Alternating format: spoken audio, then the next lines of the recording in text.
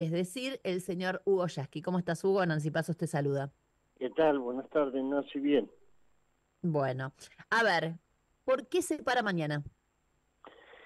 Porque tenemos una indigencia que es más alta que la que tuvimos en plena pandemia, porque hay cientos de miles de despidos en la construcción, en la metalúrgica, en el sector público, porque hay un decreto que todavía tiene vigencia no para el área laboral, la reforma laboral que quería ley quedó parada, pero hay un decreto de necesidad de urgencia y una ley de base que convierta al país en una guarida fiscal, que entrega los recursos naturales, que privatiza empresas, porque hay montándose una legislación represiva para convertir a la Argentina en un país donde los sindicatos van a estar bajo estado de sitio porque crece la miseria al mismo ritmo que se concentra la riqueza en las manos de los cinco o seis vivos que están esponsoreando la ley, que son los que le pasan la letra del DNU y de la ley esta que quieren aprobar.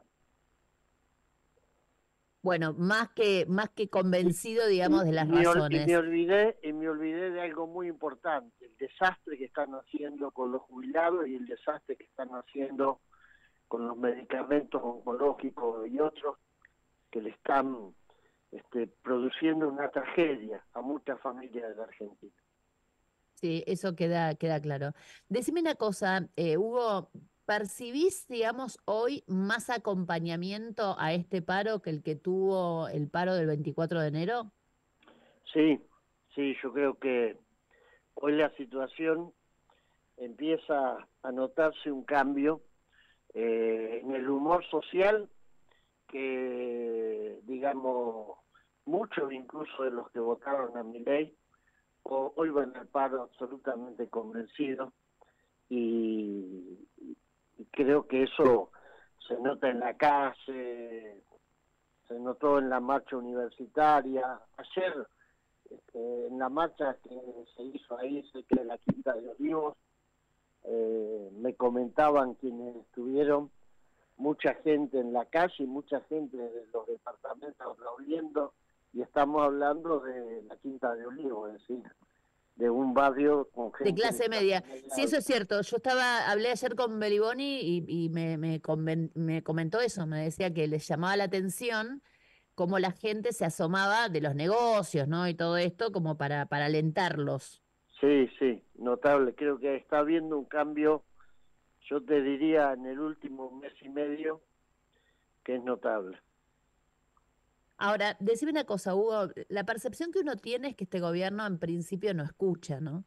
Y mm, hoy que me tocó, digamos, debatir este tema con gente que quizás no está tan ideologizada ni tan politizada y que tiene la sensación de que como el paro también implica a los medios de transporte, la gente está rehén y solo puede parar, porque al no poder, digamos, movilizarse, no puede elegir si para o no para, sino que para porque, bueno, no tiene colectivo para viajar, ¿no? Este, porque esta gente también existe, digamos, y son, son bastantes, digamos, si no, ley no hubiera ganado las elecciones y eso está clarísimo. Eh, ¿Qué se le dice a aquel que te pregunta, bueno, ¿y para qué parar si al final no cambia nada? No, las cosas, eh, lo demuestra la historia, las cosas siempre cambian. Nada cambia automáticamente, no es que apretas una perilla de paro y hace clic y cambió la realidad pero si en la Argentina no hubiese habido paros, no hubiese habido los cambios que hubo que posibilitaron recuperar la democracia, recuperar derechos, eh, hacer que la escuela pública no fuera privatizada, que no fuera privatizada la salud, todo eso estuvo en juego y los que lo defendimos fuimos siempre los trabajadores. Mañana eh, hay mucha gente que por ahí no le gustan los dirigentes que convocamos al paro.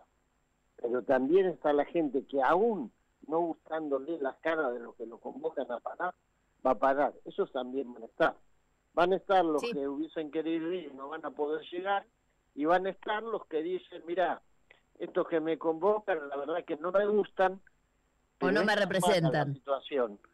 No me representan, pero sí me representa el reclamo. Por eso vos fíjate que en muchas encuestas de opinión que estuve viendo, vos la habrás visto, eh, mayoritariamente la gente está de acuerdo con lo que se demanda, pero mucha gente está, dos terceras partes.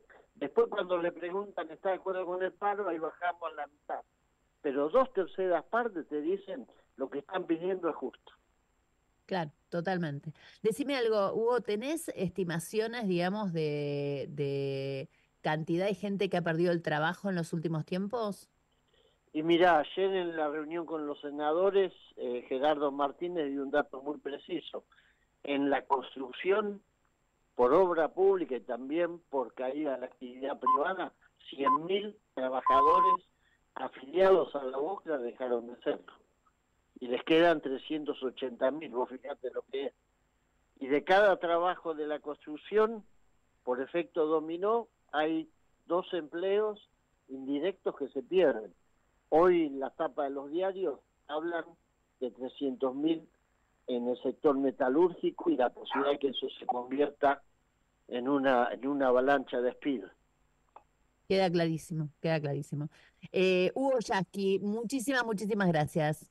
Hasta luego, buenas tardes. Presenta Maxi Consumo, el supermercado mayorista donde siempre ahorras algo más. Radio 10.